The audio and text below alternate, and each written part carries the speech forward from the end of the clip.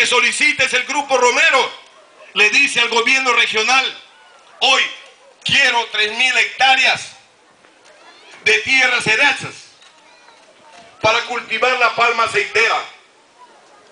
Quiero esas tierras porque son eriáceas. ¿Y qué son eriáceas? Que no tienen bosque, que puede haber un tipo de arbusto. Y bajo esa forma lo tramitan. Y todas las entidades del Estado, incluyendo el presidente regional, llamado Julio Cárdenas, plantean de que sí, es importante vender esto porque va a contribuir al desarrollo nacional.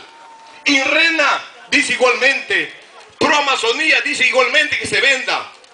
Y todas las instituciones dicen que se venda. ¿Y quién lo tramita esa venta?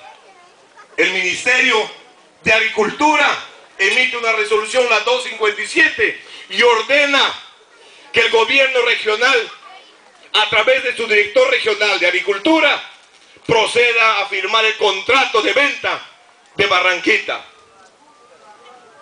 El señor Vera, el señor Vera, presidente, director general de Agricultura, procede a la venta y firma un contrato. ¿Y cuánto pagan por cada hectárea? 150 soles. Pero dicen que esa hectárea es ediacia. No pasa dos meses. 2008. Estamos hablando del 2008. En marzo de 2008 se afirmó ese contrato. ¿Y quién gobernaba la región San Martín? El señor Villanueva. Por mandato de Alan García, del ministro de Agricultura de ese entonces, el llamado Chiquito, firman ese contrato.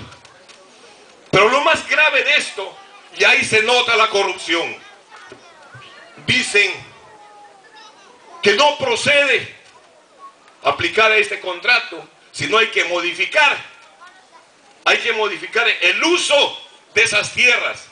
¿Cómo van a modificar el uso de estas tierras? Planteando lo siguiente, dice Eriaces, y modifican el uso de la tierra. ¿En qué sentido? En que ordena, acuerdan entre gobierno regional de Villanueva con Cainarachi para que se tiren todos los árboles que había y que hay, que no hay en este momento. Nosotros hemos sacado un cálculo. Miren, este es importante. Ahí es la corrupción. Esos son los recursos. 150 soles cada hectárea. Y son hectáreas con bosques de conservación. Pero lo venden como eriácea. Por eso es 150 soles. Pero se dan cuenta que no es así. Y eso sabe Rena, y eso sabe Villanueva, y eso sabe el ministro, y eso sabe Alan García. Se hace la compra-venta. La forma como lo hacen es en forma corrupta. En el análisis que hacemos técnicamente, la valorización por los propios reinos, nosotros constatamos lo siguiente. Por canon, el gobierno regional cobra por esos bosques, por tirar esos bosques. 192 mil soles. Más 450 mil va llegando casi a 600 mil soles. O sea, 192 mil soles para tumbar todos los bosques. Cuando hacemos el análisis de todos estos bosques maderables, el monto que sale técnicamente establecido es de 71 millones de soles. Son 72, 71 millones de soles que vale el bosque. Y se lo han llevado, se lo han vendido. Ese es el tráfico que existe ahorita. Esa es la famosa inversión ¿Y quién es el inversionista? El Grupo Romero a través de la empresa Cainarachi. ¿Quién es el que permite? El gobierno regional y el gobierno central. Y una lástima que en este momento tengamos que nosotros estar planteando quién va a ser el candidato regional. El bloque popular, las cumbres amazónicas están tomando una decisión a fines de marzo, a fines de agosto, estamos llegando a un evento. Hoy día tenemos que decir que el pueblo sanmartinese no tiene candidato regional. que realmente garantice la limpieza. Bogarín, ¿quién es? Es el mismo APRA que está haciendo esta venta de las tierras. Villanueva es simplemente el cómplice y aliado del gobierno que están haciendo.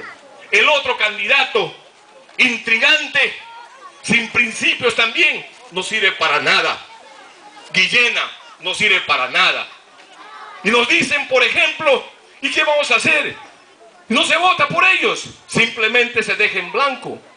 Ausentismo, pero hay que votar acá, por nuestro candidato, porque después vamos a arrepentirnos. No se dejen chantajear ahí. No podemos seguir votando por gente que está vendiendo nuestra patria. Acá, comencemos acá. Comencemos en Aguajú, comencemos en Naranjo, comencemos en, Nueva Cajamarca, comencemos en San Martín, desarrollemos en Jujuy, desarrollemos en Lamas, desarrollemos diferentes lugares en donde existe gente honesta, correcta, consecuente, como es el caso de aquí, en G. Pelacio, con nuestro candidato Aníbal Goicochea. Estamos por eso. Desde ese punto de vista, creemos de que la municipalidad debe pasar al lado del pueblo. Debe pasar al lado del pueblo para hacer esa gran campaña de, defensa de nuestra Amazonía y también para resolver los problemas como le va a plantear correctamente su candidato. Nosotros queremos saludar a ustedes por esta decisión política de apoyar al candidato Aníbal en el Frente Regional San Martinense y deben firmar el cuadrito de la familia como alternativa y debe ser masiva. Ustedes deben ganar, nosotros estamos con ustedes y volveremos a los eventos que son necesarios para fortalecer precisamente nuestra conciencia. Hermanos, compatriotas, quiero solicitar a ustedes tres vivas. ¡Viva G. Palacios! ¡Viva Moyobamba! ¡Viva! ¡Viva la región San Martín! ¡Viva! ¡Viva nuestra Amazonía! ¡Viva! ¡Viva, viva, viva! Gracias.